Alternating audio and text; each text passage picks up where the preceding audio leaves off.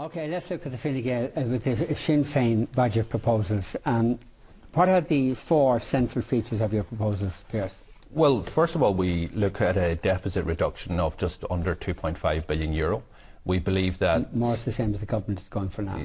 Yeah, roughly the, the same target um, that the government are, are planning.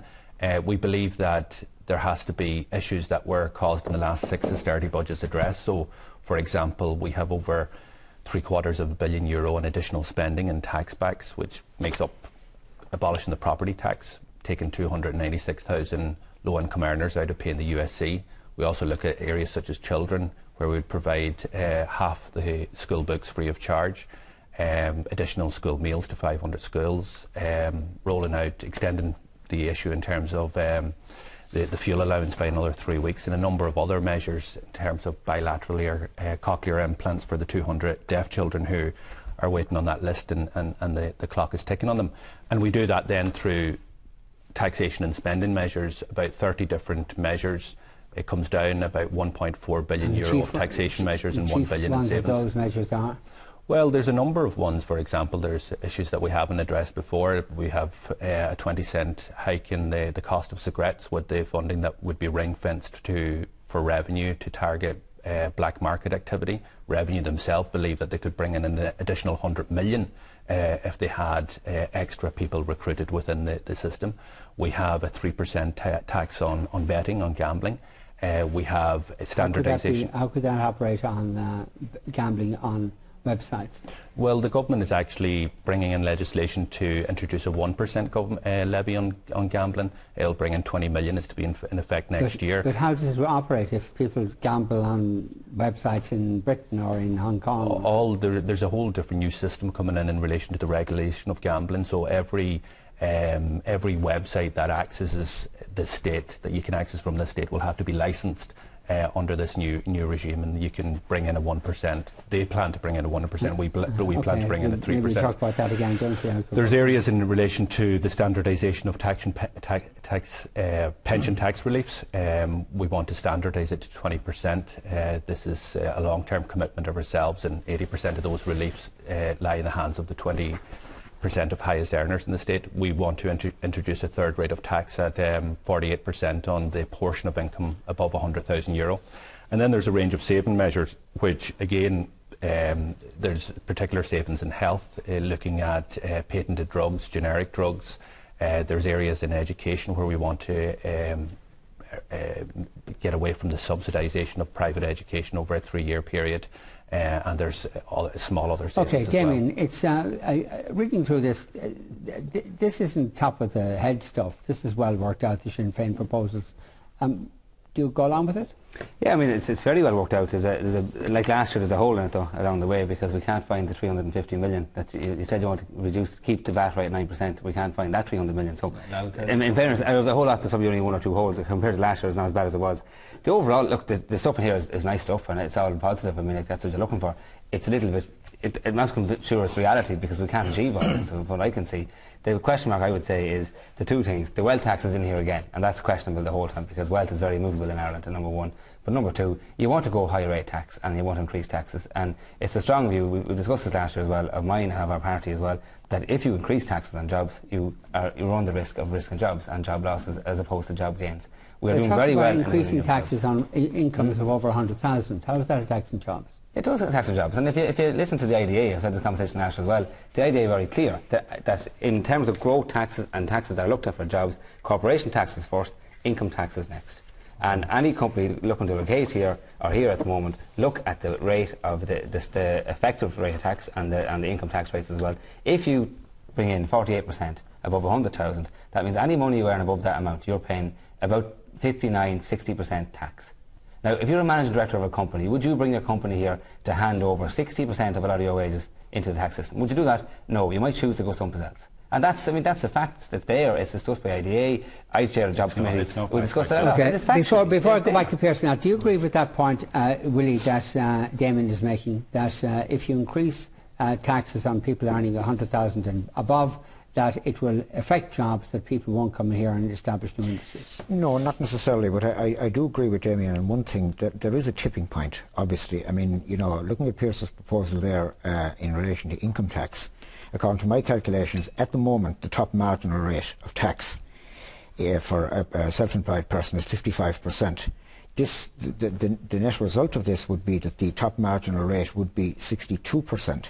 62%. The, the effective rate, though, is, is much, much lower. Yeah, the effective rate is about 32, 33 percent. But, but yeah, but we have to we have to look at what we're doing on the margins, Vincent. Unfortunately, we have to look at what we're But, doing but on the even if you take people earning over 100,000, the effect, the effective rate would be 38, 39 percent. There's a Look, different I- figure look, in the... In Absolutely, look, I. I agree. I, look, you no, know, no, even I mean, people earning over 200,000. available. I agree. It's I- about 40 percent. Yeah, I agree. Look, I, I, I agree with that. I agree with that. But you know, that being said, you know, we have to be careful here. Uh, we're in a situation where we have reduced successive. This government and its predecessor have been involved in, in, in the work of reducing the number of people in the public sector. The private sector is the main driver of jobs at the moment. And we, we must ensure that they have a proper incentive to create jobs. I mean, you know, you take a, a person who goes out, who, who, who takes the risk, goes out into the marketplace, sets up on their own. If they're reasonably successful, what we're saying to them now is that um, you know every euro you earn over 100,000, you're expected to give 62 cents of that back to the state.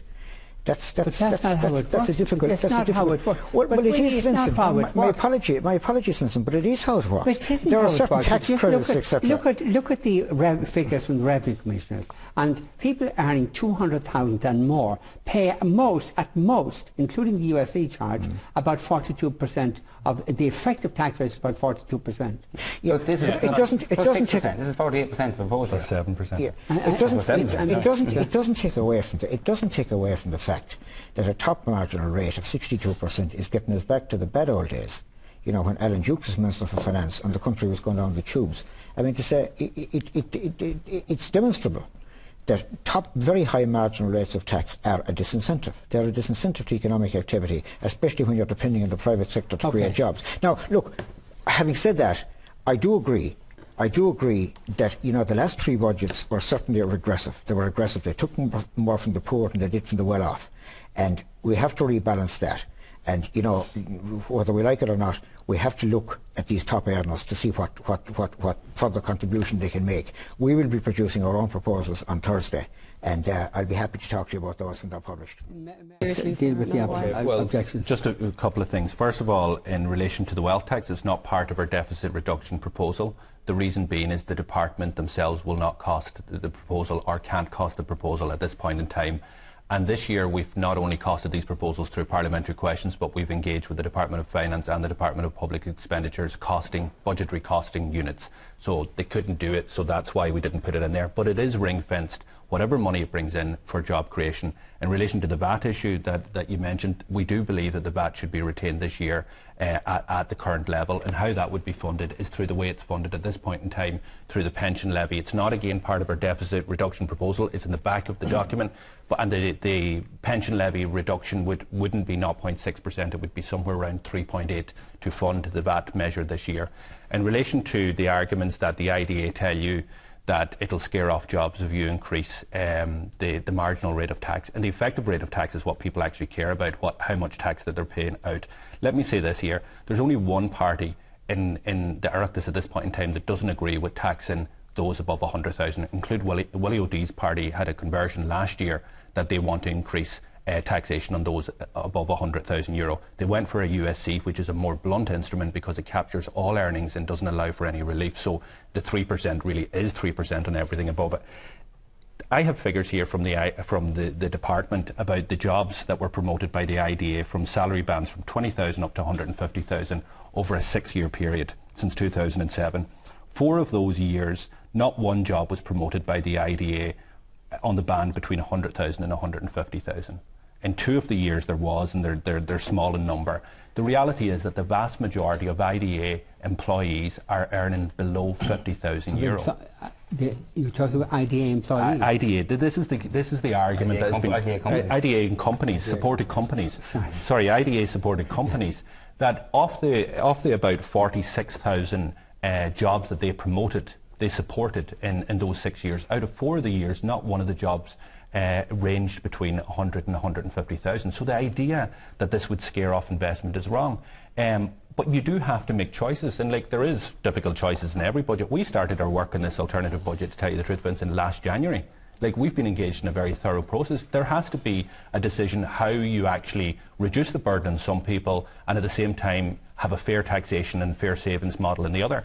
Like this isn't just about taxing high earners. Remember, there's nearly 300,000 people who would see a reduction in tax as a result of taking them out of the USC. There's 1.8 million households which would have less property tax to pay. But it's also about stimulating the economy and investing in the economy and getting people back to work. We had a presentation, I'll say this just finally, we had a presentation today from the Department of Finance officials, right? They're telling us this year growth rates are zero. Growth rates are zero. And I put the question to them, if we were told this in 2008, that we'd be sitting in this room in 2013 and you telling us that there has been no growth rate in the Irish economy, would we have, as a country, would we have followed the direction of austerity for the last six years? And I genuinely think nobody would have said, yes, we would have. This, the, the direction that this country has gone in has been wrong. It has failed. We can see it in the figures from mortgage to unemployment uh, to immigration. It has failed and failed dramatically. It's time for a new direction. This doesn't have all the solutions. It's our contribution to a fair society and the way to give families a break.